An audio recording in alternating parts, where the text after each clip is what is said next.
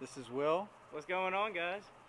What's uh what is your channel name? Will's Lawn Service. Will's So- Lawn Service. I- I mean, you never know who you're gonna bump into. yeah, really.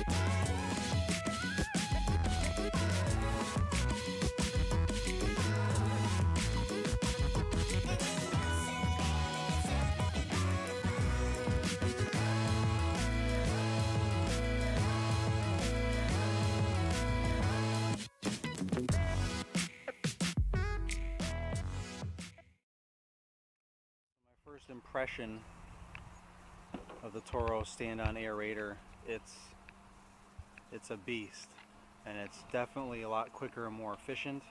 You know, it takes a little. It took I wouldn't say a little while. It took me like one yard to figure it out, just to get used to the whole mechanism. But it becomes like part of your flow, and it just becomes seamless. And uh, I can imagine it's just so much quicker and more efficient than any walk-behind aerator, whether it's steerable or whatever. Um, I mean, yeah, you're standing on it, so clearly you're never going to be tired, so that's going to increase productivity. But just the capabilities, the zero turn capabilities, you know, you just lift your foot off the pedal for a second, back up, turn around 360, whatever, push the pedal back down, and then go forward. And you can just maneuver all over the place as long as you lift your foot up on the pedal before you back up or turn too sharp so you don't snap any tines off. You're good to go. And I mean, I was like going back and forth all around trees and in between things, and I was flowing well. So, uh, first impression is this is a really good piece of equipment and I definitely want to. I'm considering investing in this in the in the near future. Here's the pedal right here. You push down.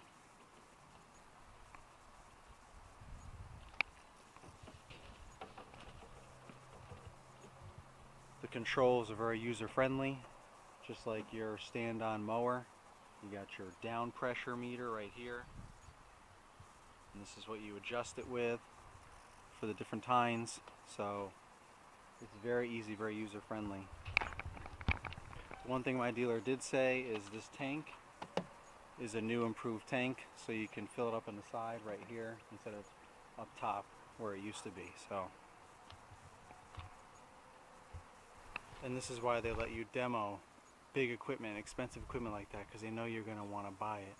Because man, that uh, that's pretty sweet. The wheels are already spinning, but I don't know. It's got to be justifiable.